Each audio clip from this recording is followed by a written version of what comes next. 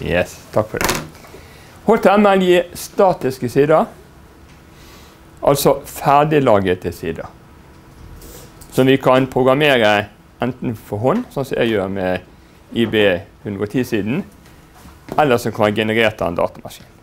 Men det er en ferdig side, og når vi sier til browseren at vi vil ha den siden, vi gjør en sånn, trykker på en link, trykker på en, i en get-kommand, så får vi siden tilbake og vises. Problemet med det er at statiske sider har en klar begrensning. Vi kan ikke vise tilgjengelige flybilletter, f.eks. For Fordi at det er jo avhengig av situasjonen i dag. Sant? Hvis noen var rett foran deg og bestilte. Så Derfor så vil vi gjerne ha dynamiske sider. Og Det kan vi gjøre på to måter. Vi kan bruke Script eller Applet. Men vi skal snakke om Script her, for det er det mest aktuelt i dag. Ideen er at brukeren fyller ut et sånt skjema eller form på websiden, som kan selvfølgelig ha masse forskjellige utforminger. Men ideen er her kan vi legge inn data som blir sendt til serveren. Til Norwegian eller SAS f.eks. Eller banken. Og Det skjer når man trykker submit-knappen. For hvert form har et submit-knapp. Da vil alle data som du har fylt ut, bli sendt til serveren. Og det vi vil se på, er at istedenfor at den URL-en som da blir oppgitt, så ikke det HTML, det står, det står ASP. Eller noe lignende. Dette er en forteller serveren at det er et skript. Webserveren, den som håndterer den HTTP-trafikken, den vil da hente fram det skriptet, og så vil han kjøre det. Så egentlig så kan vi tenke at det ligger et dataprogram der.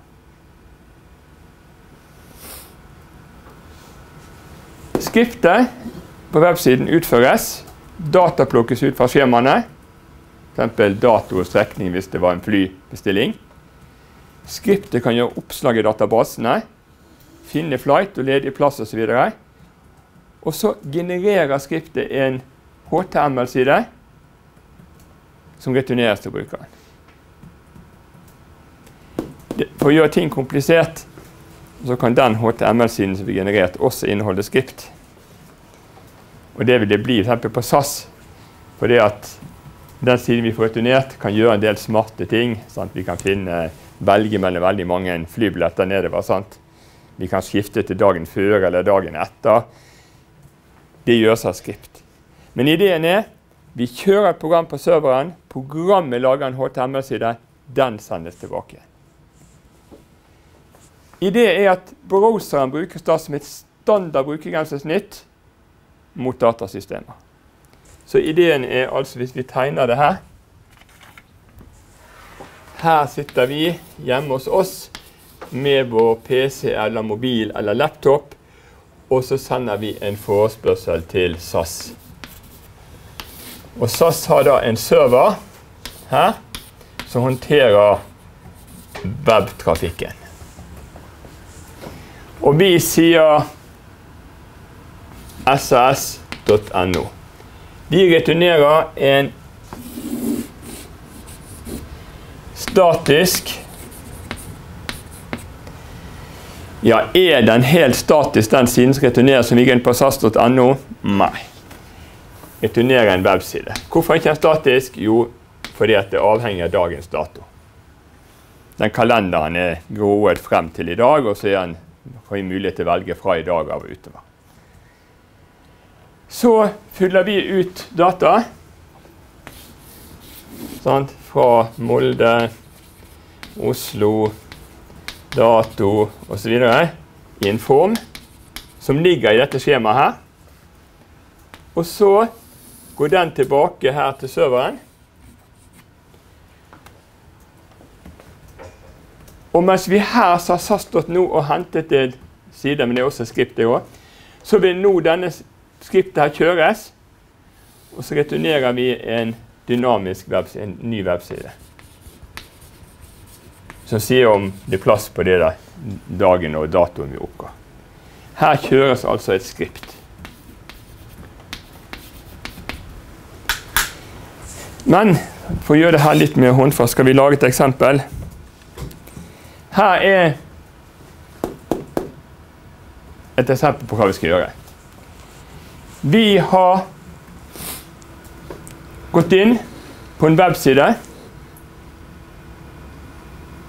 Og den vises her. Og vi ser at den websiden har mulighet til å legge inn et navn.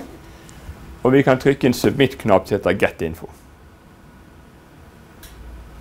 Men i prinsippet er det akkurat det samme som skjer når vi bruker SAS eller internettbanken, bare at vi her bare har ett felt. I den websiden min så vil vi finne en sånn form. I den websiden som jeg fikk. Og Den vil vi også finne i den websiden vi fikk når vi gikk inn på sas.no og fikk tilbake en webside. Form der vi kan fylle ut data. Men i SAS sin side så litt mer komplisert enn her, for det ligger masse skript og mye annet tull. Den har en action-knapp som sier hva som skal skje når vi trykker submit-knappen. Jo, da skal vi overføre kontrollen til employee.asp. I den formen har vi en del tekst her. Det var den ledeteksten her. Vi har et felt. Input type er tekst. Navn er last nevnte navnet på feltet. Maks størrelse 40 tegn. Eh, det har en standardstørrelse på 40 tegn, men kan ta inntil 60 tegn.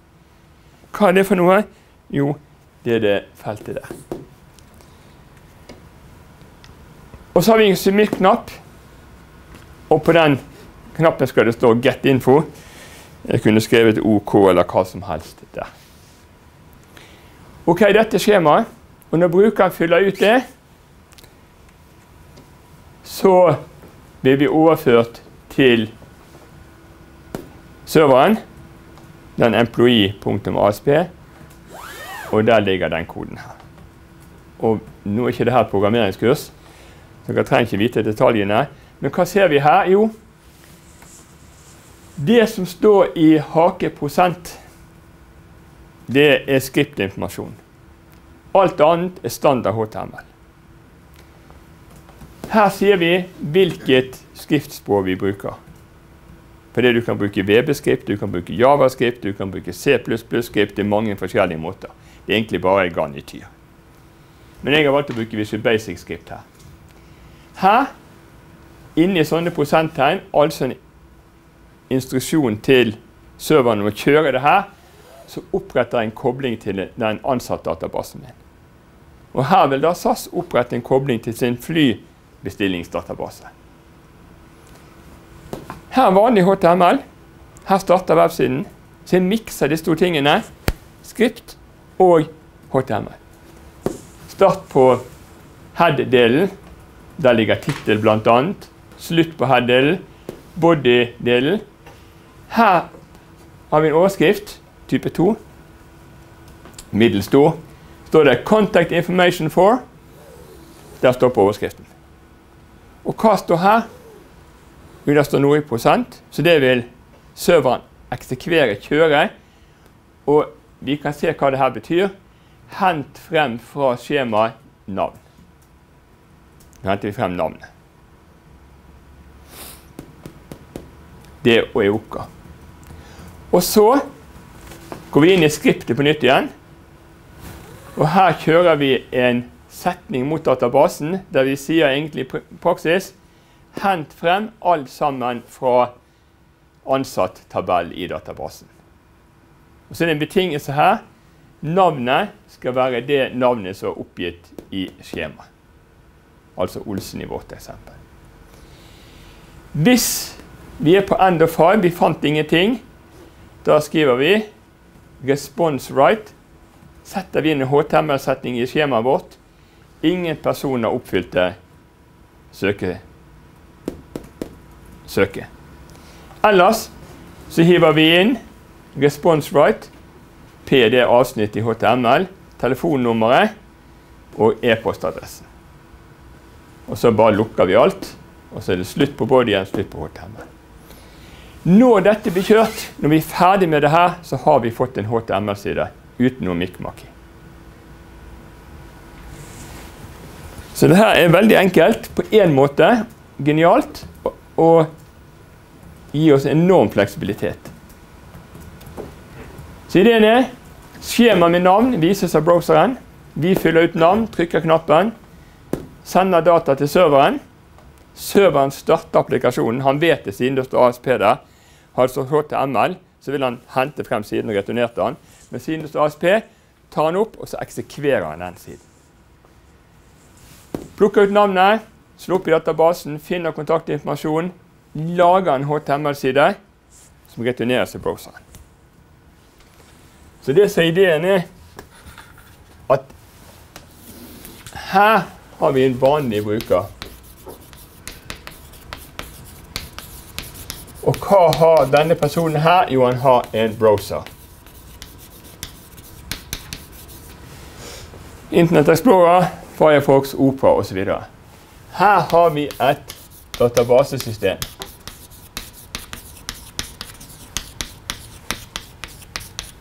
Men selvfølgelig mye data og mye spesialkunnskap, så de vet noe om flights og datoer og flyplasser og sånne ting.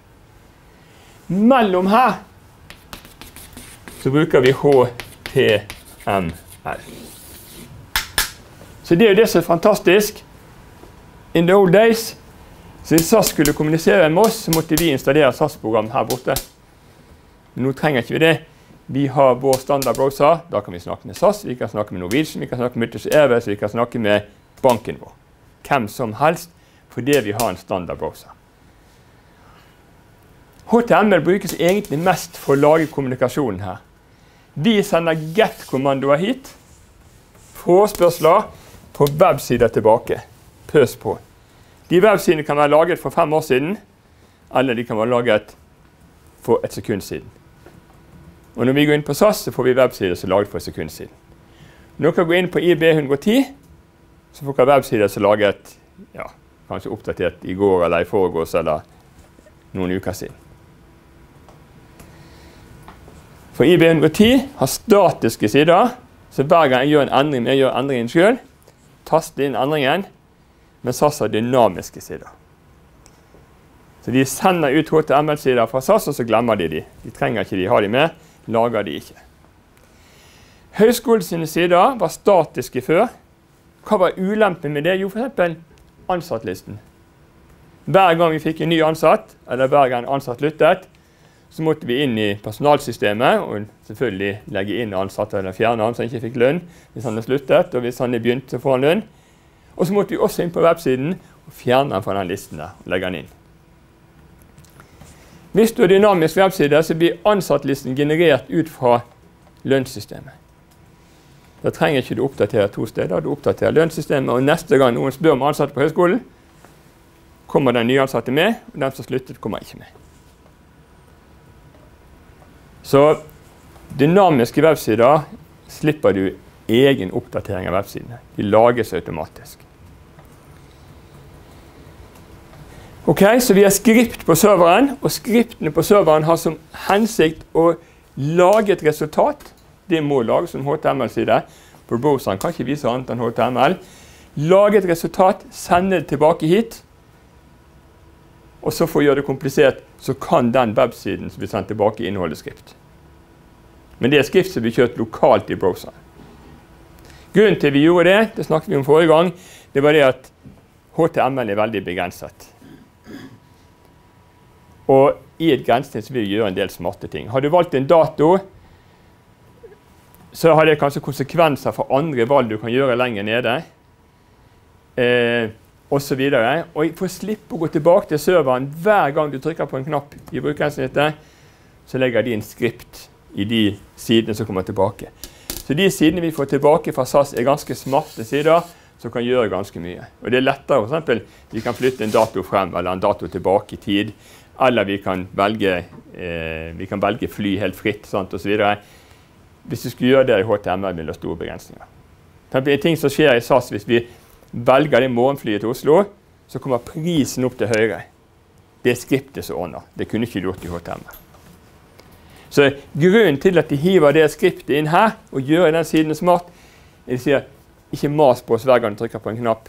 Her har du det skriptet her. Velg fly, se på prisene. Og så når du er fornøyd, så trykker du 'submit', og så sender du tilbake til oss. Ja, hvis ikke vi hadde det, så måtte vi hele tiden kommunisere frem og tilbake. Så vi har altså skript begge steder. Hensikten her er å lage en HTML-side. Hensikten her er å kunne ha litt bedre brukergrensesnitt. Men det hovedpoenget her, det som er forferdelig viktig å forstå, det er at vi bruker HTML som kommunikasjonskanal. Vi slipper å installere bankprogramvare, SAS-programvare, Norwegian-programvare. Vi bruker den standardbrowseren. Og det tror jeg kanskje ingen så når man laget HTML. Man så ikke den muligheten i starten. Men så plutselig oppdaget man at vi får dette skjemaet, og vi kan fylle ut, da kan brukeren gi data til serveren via dette form. Og da kan plutselig vi ha en sånn toveisforbindelse. Før det var det serveren som dytta på oss ferdige sider. Og vi kunne lese de og trykke på en link. Det var det vi kunne gjøre. Nå får vi en side fra serveren, så kan vi fylle ut data, sende tilbake. og Så kan serveren si oi, han skal til Oslo. Ja, da har vi disse flyene. Og så sende tilbake til meg.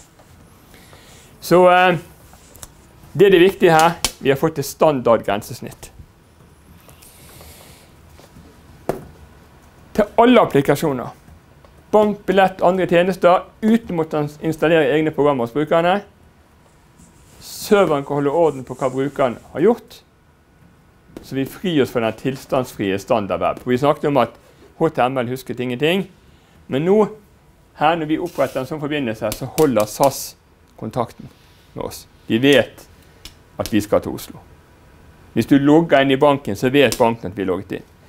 Så det de har noe som vi setter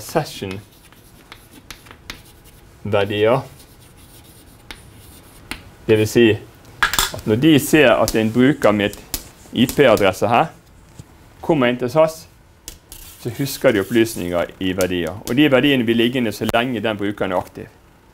Hvis du er passiv, så dør forbindelsen ut, og da sletter de de verdiene.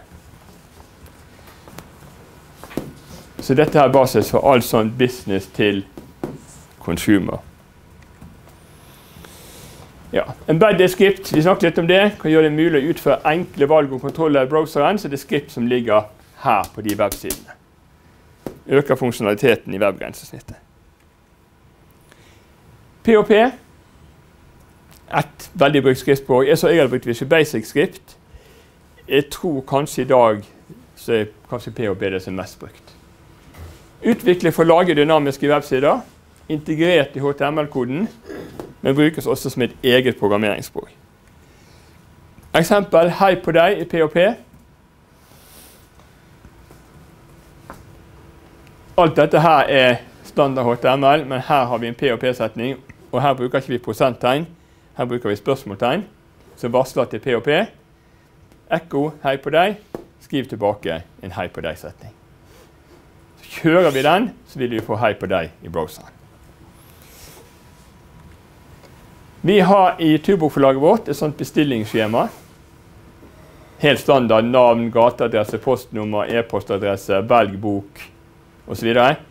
Dette her er stort sett standard HTML, men vi skal kontrollere en del ting. Når han trykker 'submit', som her har teksten 'send bestilling, så sjekker vi her om 'Ismail ready'. Det er en funksjon, altså i praksis for dere som ikke kan programmering. Det den sjekker, er er det gitt et navn. Hvis ikke får du beskjed oppgi navn. Du kan ikke sende bestilling uten navn. Er det postnummer og poststed? Er det en krøllalfa i e-postadressen? Osv. Så, videre. så den sjekker at det som står her, er fornuftig før den sender det. Og det er et javascript.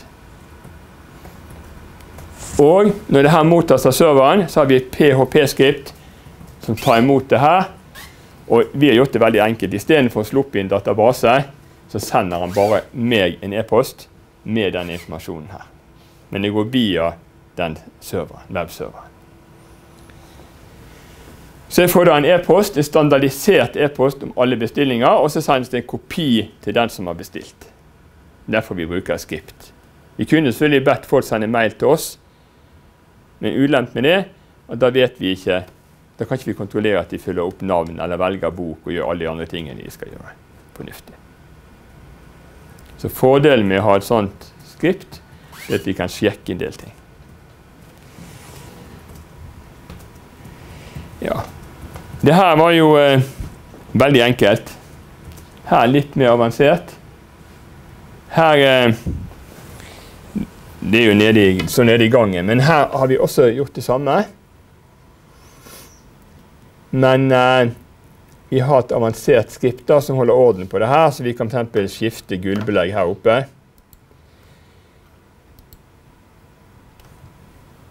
Og skifte farge på sofaen eller stolene osv. Men det står nede i gangen for de som vil prøve det ut. Men det er igjen det samme. Det er lokale skript på den maskinen. Vi bruker browseren når du velger gulvbelegg, klikker på gulvet. Så vil vi se at du klikker på gulvet og får opp en meny over forskjellige gulvbelegg. Ok, Peer-to-peer computing utnytter maskinene står i nett. Peer-to-peer det betyr like menn. Eller like damer. Mellom like personer på samme nivå. Ideen er hva er forskjellen på peer-to-peer? Her har vi et hierarki. Sånn? Noen er overordnet. Det kan være en server som er sjef, og så er det andre ting under. Men peer-to-peer, det har vi alle her. Så kan alle kommunisere med alle på alle mulige måter. Vi har noen programmer som administrerer nettverket, og hvis vi ikke har en sentral maskin, så må alle programmer som administrerer nettverket, være på hver enkelt maskin her. Veldig robust. Hvis et sånt hierarkisystem, sier SAS-system, hvis den faller ut, får ingen gjort noe som helst. Hvis én faller ut her, betyr det ingenting for alle de andre. For all programvaren som skal til, ligger rundt omkring her. Så det er veldig robust, helt uavhengig av enkeltkomponentene. Tildeling, musikk og video. Store beregninger. Det er gjort en del enorme beregningsoppgaver. Det mest interessante kanskje er at de laget en ny sånn krypteringsalgoritme, altså koding, som det sagt, og der ble det sagt når vi laget den, det vil ta 100 millioner år for noen å bryte denne koden. Og så var det en New York Times-journalist som tenkte hm, hvis jeg nå får masse folk rundt om hele verden til å forsøke å knekke den koden her, så hver tok sin del. For det må jo regne gjennom alle mulige kombinasjoner til du finner noe fornuftig. Og da med Han hadde mer enn 100 millioner PC-er, så han gjorde det i løpet av et halvt år. Så folk, når da du lastet ned i program, og når du ikke brukte maskinen din, som er store deler av døgnet, så brukte maskinen all sin kapasitet på å regne ut og knekke den koden. Og når nok maskiner gjorde det og hele verden, var veldig mange som var interessert i å være med på det her, så klarte de å knekke koden på et halvt år.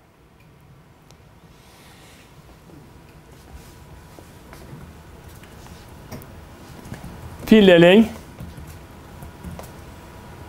det er programvare som lar maskinene kommunisere. Det er helt nødvendig her, selvfølgelig. Ingen hovedmaskin, alle like. Robust.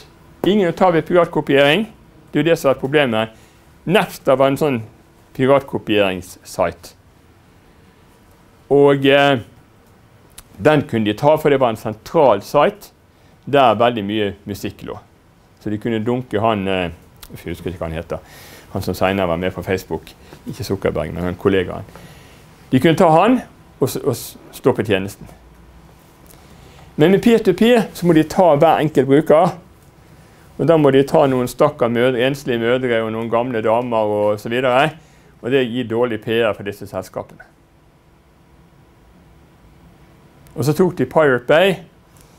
Det var litt, eh, Pirate Bay forsøkte å beskytte seg ved at hos de lå det ingen musikk. Ingen filmer, ingenting. Men det lå programvare for å Så hvis du installerte den, så kunne du få tilgang til filmer hos andre rundt omkring i nettverket. Så du kan si at Pirate Bay var ikke en del av nettverket, men det kunne forsyne nettverket med programvare. Interessant var Jeg skrev en artikkel i Aftenposten meg og en annen fyr om piratkopiering. Og da kunne jeg oppga alle nettadressene. De som eh, laster ned musikk ulovlig, de henter programmeren her på www.piratebay.se. så noen sa Dagbladet kommer aldri til å trykke de der adressene. Jo, de gjorde det fordi Vi har ikke sagt at hvis du laster ned ulovlige programmer så I den artikkelen sa vi de som gjør det, de henter det her. så alle linkene var oppgitt til alt som var mulig for piratkopiering. Men jeg syns det var i 2003, og da var det fornuftige piratkopiere. Hvorfor det? Jo, for det var de eneste som tilbød elektronisk musikk. Men i dag er det selvfølgelig galt til piratkopiere, for i dag har du noe som heter Spotify og Vimp og iTunes og andre ting, der du kan få tak i tjenesten og betale litt for det. Og det er helt akseptabelt den kostnaden det er å laste ned. Så den gangen kunne du si at jeg privatkopierer fordi jeg vil ha musikk digitalt, og det er eneste måten å få digital musikk på. Men i dag, hvis du piratkopierer, så får du spare 99 kroner måneden, eller hva det er. Og det er ikke like edelt. Kommer det med en ny bruker, hva skjer da? Jo, han kommer inn i nettet. Han kan hente musikk og tjenester fra andre. Men alt som ligger på hans maskin, tilbys også andre. Og Det er jo det som hele ideen i P2P. Altså det er en sånn OK, jeg får lov å hente noe fra din maskin, men så skal du også få lov å hente noe fra min maskin. Og så er det veldig demokratisk. Og Når vi laster ned filmer for eksempel, i P2P-nettverk, så får ikke vi alt fra én her. Men kanskje samme filmen ligger her og her og her. Så laster vi ned for alle samtidig, biter av filmen, og så setter vi den sammen til slutt. Og Det gjør at det er veldig robust. Så selv om han der skulle finne på å skru av maskinen sin Ok, du mister den lille biten du fikk fra han, men den kan du også få fra andre. Så du bare laster ned det hele, og så etter noen timer eller minutter så er filmen satt sammen. Så nå ser jeg, nå går jeg fort gjennom dette kapittelet, bare gi en idé om hvert kapittel. Men det vi snakket om i sted, dette med dynamiske websider, det er veldig viktig. Sosiale nett det er ganske nytt. Vi vet ikke helt hva det vil føre til. Economist lagde en veldig god rapport, så noe av det her er basert på det. Den ligger forhåpentligvis i pensumlisten. Hva er sosiale medier? Facebook, Weibo, kinesisk, brukes veldig mye. Nesten like mye som Facebook, men bare da i Kina. Twitter, YouTube, MySpace, LinkedIn, blogger og chat og SMS og e-post. Alt kan vi si er en del av et sosialt nettverk som kan samhandle med andre mennesker på nett. Facebook, mest kjent, startet i 2004. Nest mest populære siten på internett etter Google. Én milliard brukere. Litt nummer tre i verden under vann nasjon. Mange bruker aktive, legger inn mange oppdateringer. 70 prosent utenfor USA.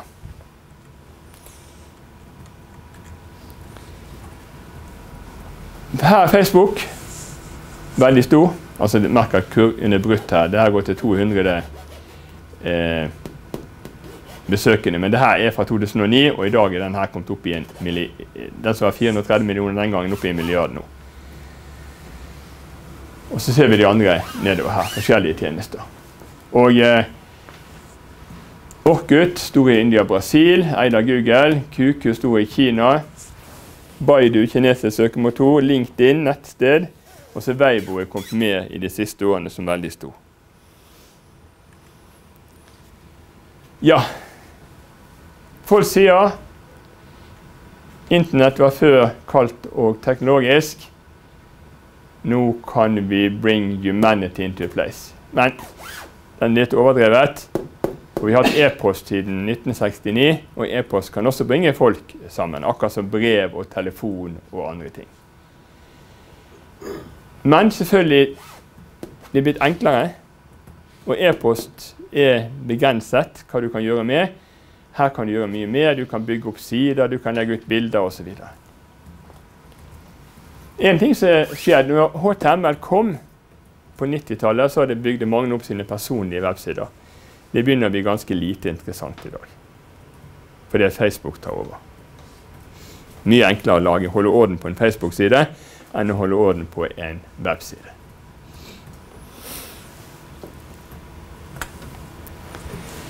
Noen bruker det veldig mye. Seks timer logget inn. Det betyr ikke at du bruker det hele tiden. Sant? Noen er permanent innlogget. Alle aldersgrupper og det viser seg at når det skjer noe rundt omkring i verden, så er både Facebook og Twitter veldig flinke til å fange opp ting. Fort. Obama brukte det nettet aktivt i sin, sine presidentkampanjer, begge to. Det var kanskje den første der det, virkelig, det var klart at eh, sosiale nett hadde en betydning i valgkampen. Og Så kan man spørre seg hadde noen betydning ved revolusjonen i Tunis og Egypt. Og Det diskuteres litt, for det var veldig få Facebook- og Twitter-kontoer. Men det var en del sentrale personer de fikk informasjon gjennom Facebook og Twitter. Så eh, hvor stor betydningen er, det kan man diskutere. Men at det var en betydning, det vet man. Eksponentiell vekst her er Facebook. Startet sakte, men det var også bevisst. De la det ut universitet for universitet. De startet med Harvard. Og så tok de en del andre universiteter. Og det var lurt, for da hadde de hele tiden nok kapasitet. For er det ett krav til en sånn tjeneste, så må den være opp hele tiden og må være kjapp. Det var andre sosiale nett som kom før Facebook. Andre er det borti her. Før år 2000. 2001-2002. Men de feilet av den grunn. Noen feilet fordi de var tekstbasert, bare tekst, ikke bilder. Og de som hadde bilder, feilet fordi de har ikke kapasitet til å håndtere bildene. Så eh, Zuckerberg og co. var heldige. For omtrent her så begynte du å få veldig kraftige, billige servere. Prisene på datautstyret falt i de årene her. Vi fikk også bedre digitalkamera, slik at brukerne hadde bilder som de kunne legge opp. og Det ble veldig aktuelt her. Så i 2006 så slapp de det fritt. Da holdt de vekk denne, denne universitetsbegrensningen de hadde der, og så steg det dramatisk. Og som de sier, LinkedIn nå brukte 16 måneder for å nå sin første million, og den siste millionen fikk de på 11 dager. Og det er litt det at du får sånn eksponentiell vekst der. For hvis dine venner bruker Facebook, så må du også bruke Facebook.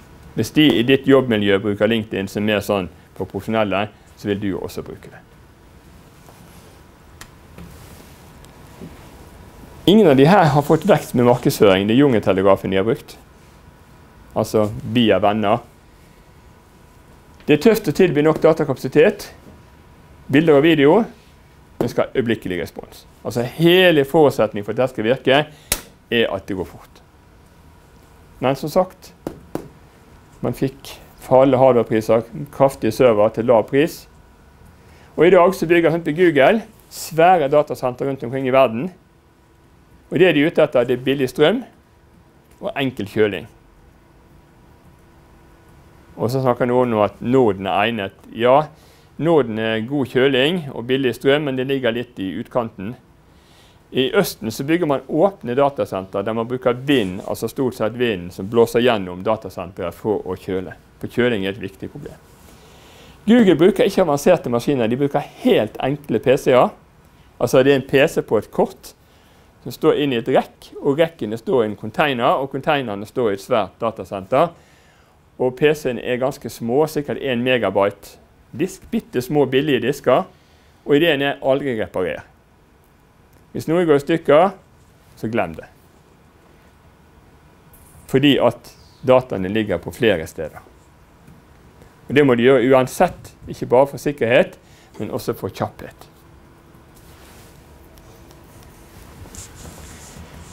Kraft og kjøling er store problemer. Vi har en del eh, personvernsproblem her. Vi skal legge ut personlige data, er jo hele ideen. Da må vi stole på at de dataene blir beskyttet sånn, i hvert fall sånn noenlunde. Og ideen er at de bygger opp sterke kontroller, og vi styrer sjøl hva de skal lage om oss. Men de liker ikke de så veldig godt. fordi at jo mer du vet om en bruker, jo mer målrettet markedsføring kan du gi. Og jo mer høyere pris kan du ta for annonsene. På Google er det greit, for når jeg på Google søker på digitalkamera, så sier jeg sjøl hva jeg er ute etter. Så Google har en veldig grei modell. Aha, hva jeg vil ha digitalkamera.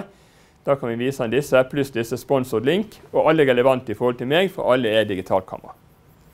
Som vi har sett før, det er noen begrensninger. De, de, hvis jeg søker på et spesiell type mobiltelefon, så kan de gi meg sponsorlinker til butikker som ikke har den mobiltelefonen. Det er dårlig, det bør de jobbe med. Men på Facebook, hvordan vet de hva vi er interessert i? Vel, De kan se på alder, de kan se på hvor vi bor. Men det er mye bedre hvis de ser på det vi skriver.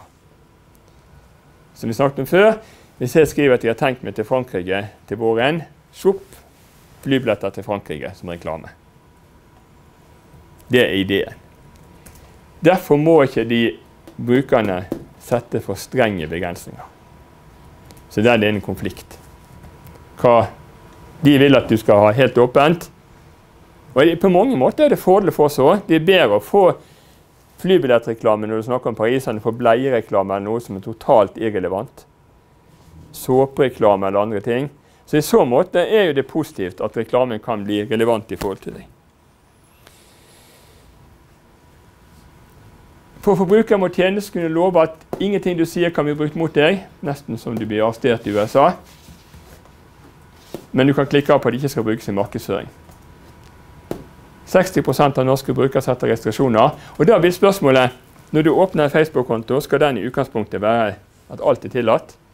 Eller skal den i utgangspunktet være at ingenting er tillatt? Og Det er altså spørsmål opt-in. Det at ingenting er tillatt, og du klikker på hva som skal være tillatt opt-out er omvendt. Alt er tillatt, så klikker du på hva som ikke skal være tillatt. Og Hvis brukeren er ganske sløve, så glemmer du det. sant? Så jeg var på Spotify. De hadde sånn opt-out. Så installerte jeg, og plutselig var alt tilgjengelig uten at jeg visste det. Så poenget som vi sier, vi har en motsetning her.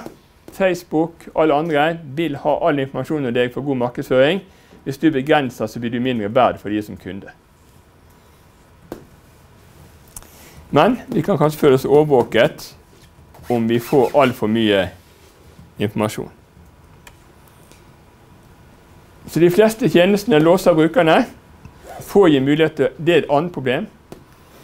Når du er kommet inn i en tjeneste, så er du låst lukket inn i den tjenesten.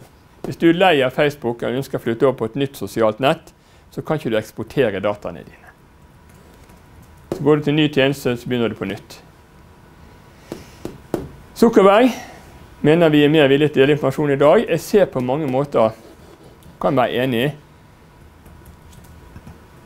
Kanskje et veldig godt prinsipp på nett det er å ikke legge ut noe du ikke vil at skal stå på forsiden i avisen.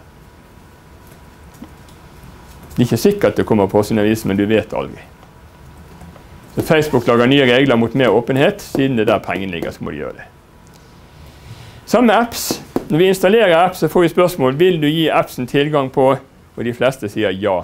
Ok. Plutselig vet appsen veldig mye om din telefonbruk, dine venner, andre ting. Hvis du unngår det der, så ikke installer apps. Jeg er alltid litt forbauset over appsen ber om tilgang til maillisten, selv om det er ingenting med mail å gjøre. men Det er sikkert for reklameformål, det òg. Men så er det store spørsmålet, da. Som vi hørte på nyhetene i dag, nå viser det seg at NSA har overvåket ikke Merkel bare i siden 2006, men i over ti år. Helt sånn med kansler i Tyskland, eller statsminister. De overvokser oss i alle. Unntatt amerikanske statsborgere, for de har lover mot det. Og det samme her. Svenskene overvåker oss. For norsk datatrafikk går gjennom Sverige. Og svenskene har akkurat samme lover som USA. Når det gjelder egne innbyggere, så sterke personvernlover ikke lov å registrere noe som helst, men når det gjelder nordmenn kan de registrere alt. Så det store spørsmålet er kanskje Norge ikke bør sende datatrafikken gjennom Sverige. Eller forlanger Sverige respekterer norske innbyggere. Dataene hentes fra Google, Facebook, Apple, Microsoft og Cloud-tjenester og alt annet som er amerikansk. Så hvis et norsk firma nå har vi en sak Evry her. Lager det et sånt uh, datafirma som driver veldig mye for banker og andre. De lager et svært datasenter på Østlandet sammen med et amerikansk firma. Da kan amerikanske myndigheter, NSA her, gå til amerikanske firmaer og si vi vil ha data som ligger i det datasenteret. Og Hvis du sier nei, så blir du satt i fengsel. Du må si ja, og du må ikke si til noen at du har sagt ja. Så det er jo ganske skummelt. Så eh, det å bruke data på Facebook i markedsføring blir kanskje flispikkere i forhold til det her. Vi vet alt. Og så har vi en nettopp hatt en stortingsdebatt i fjor eller forfjor om datalagringsdirektivet. Skal teleselskapene lage data om din telefontrafikk? Og husk, det er kun administrative data, det er ikke innhold. Det er bare hvem du har ringt, når du har ringt de, osv. Jo, de fikk lov av nådigst til å lage det i seks måneder. Og det er Hele ideen, hele debatten er bare tøv. Amerikanerne lager det evigvarende. Og de lager ikke bare administrative data om telefonsamtaler og mail, men også innholdet. Så dette her er liksom basert på ideen om at vi har kontroll. Vi har ingen kontroll. Sannsynligvis vil det skje et eller annet nå. For det som er rimelig, hvis du er Statoil eller Hydro eller et stor bank i Norge, så finner du ut du kan ikke ha dataene i noe som helst system som har noe med USA å gjøre. Kan ikke bruke Microsoft-programvare, ikke bruke Google, ikke bruke Yahoo, ikke ha Apple-maskiner, ikke iPhoner. Du må passe på å holde deg unna hvis du vil at dataene dine skal være hemmelige. Det kan bety et enormt tap for USA. Og Det interessante her er at amerikanerne har nektet Huawei, det er et sånt kinesisk teleselskap som lager ruter og sånne ting, akkurat som Eriksson i Sverige. De har nektet de å komme inn i USA fordi man er skeptisk til kineserne og tror de kan overvåke. Og Det samme rundt omkring i Europa. Hun har er møtt med en viss skepsis. Og det er veldig rart, fordi de har åpenhet, de har tilbudt åpenhet i programvaren sin. Men i dag er det selvfølgelig omvendt. Det er mulig at kineserne overvåker, men du vet at amerikanerne overvåker. Så det er sikkert mye tryggere å kjøpe kinesisk utstyr enn amerikansk utstyr. Og det er klart For firma og andre ting, i og med at de også tar firmadata du vet, De vet ikke hva de bruker det til, men det man vet, er at har du data, så bruker du de. Og Det er klart det er interessant for amerikanerne å vite hva Statoil har funnet av oljefelt og andre ting. Så Hvis Statoil vil ha det hemmelig, så må de holde unna alt amerikansk utstyr.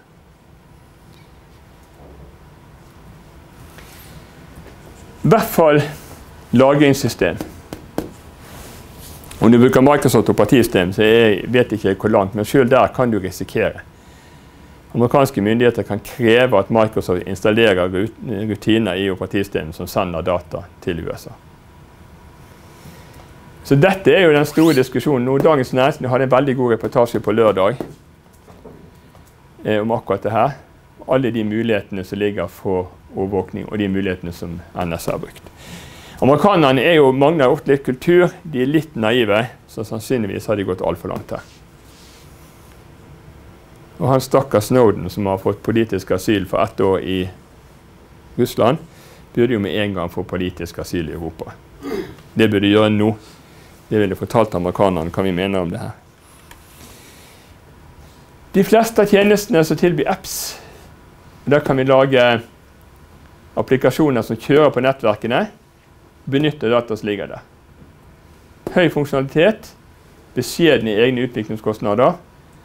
Slik at du, Facebook har nå en million utviklere som har laget en halv million applikasjoner. Så du kan bygge apps i tillegg til Facebook som utnytter data som ligger der. Twitter gjør det samme. Apple selvfølgelig er også inne i det her. Så du bygger med apps da, så bygger du apps som utnytter mye av det som ligger der. Så du kan utvide de tjenestene utover det som er basistjenestene fra de store selskapene. Facebook jobber med Connect. Ideen er å bruke Facebook-identiteten til å verifisere at brukeren den hun er. Og så kan du logge inn andre steder ved hjelp av Facebook, og de andre stedene får tilgang til profil.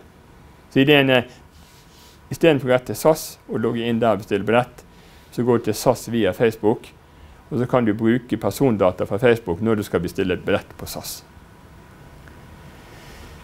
Og Du kan koble sammen data, og igjen krever det gode sikkerhetssystemer. Dette er ideen. Hvem er du? Gi tilgang, datastrømmer og anvendelser. Så bruker du disse dataene på, i Facebook og på plattform. Så Facebook vil etter hvert bli mye mer enn et sosialt nett. Det de ønsker er at Når du logger inn på maskinen din, så går du rett på Facebook og blir der. Og så gjør du ting fra Facebook. Tillater brukeren ta Facebook til andre sider på nettet, til andre enheter enn en PC. Du kan kjøre Facebook fra mobil, fra spillkonsoller. Og du kan koble Facebook til musikktjenester. Og Da kan du vite hva vennen lastet ned, og hva du spiller akkurat nå. Så det blir en del av det sosiale nett hvis du vil.